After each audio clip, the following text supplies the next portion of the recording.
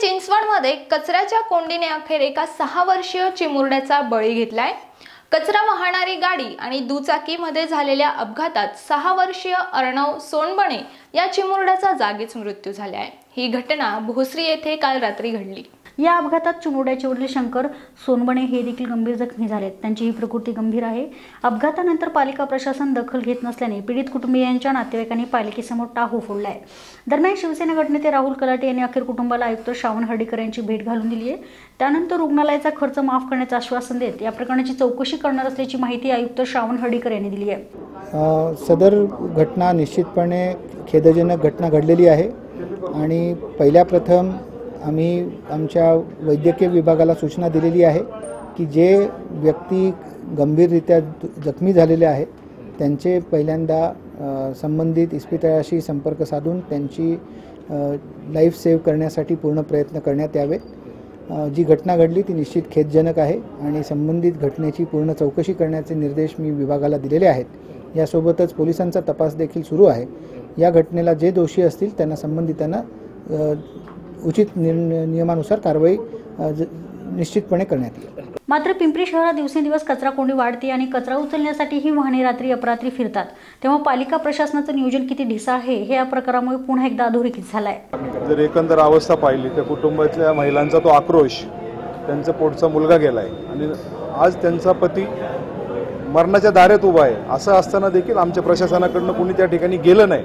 मी आता सर्वांना घेऊन आयुक्तांकडे जातोय. प्रथमतः आयुक्तांना त्या मुलाच्या वडिलांची उपचाराचं काय होतंय काय नाही त्याची काय परिस्थिती आहे तो खर्च तो तिथला हॉस्पिटल करत नाही आहे त्याच्याकडे प्रथम लक्ष देण्याचं काम प्रशासनाने करावं.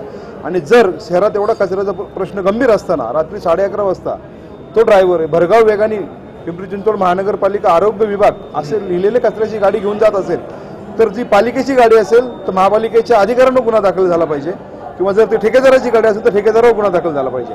परंतु गुन्हा दाखल होऊन हा भाग पाठ बाजूला असताना ह्या कुटुंबावर जो अन्याय झाला आज त्यांच्या घरातला पोशिंदा गेलाय. तो पोशिंदा गेला असताना त्याच्या त्या पोशिंद्याचा मुलगा गेला आणि पोशिंदा सिरियस आहे. म्हणजे अक्ष- अक्षरशः त्यांची तब्येत अतिशय नाजूक अवस्थेत असताना देखील तिथे कोणी बघायला गेलं नाही. प्रथमतः महापालिकेची जबाबदारी आहे. त्यांचा उपचार कसं कसा चांगल्या रीतीने होईल त्यातनं ते बाहेर निघतील का नाही त्यांना कशी आर्थिक मदत देता येईल हे पाहणं प्रथम महापालिकेचं कर्तव्य आहे. मी गावाकडून आलो आज दुपारी बारा वाजता. मी गावाकडे होतो गावाकडे असल्यामुळे आता मी पहिलेच अपंग माणूस.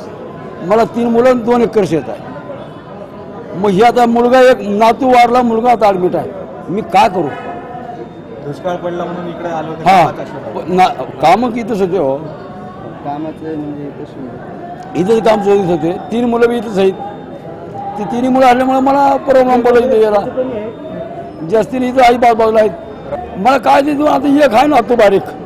ते आता त्याला कोण सांभाळणार आहे? ते तुम्हीच काय ते का प्रॉब्लेम सॉल्व करता ते करा. आम्हाला काय करता ते काय देता तुम्ही काम हे द्या काय तर काम द्या काय तर हे द्या. लेडीला काय तर हे करा. उपचार. करा. दुसरं काय माझ्याकडे?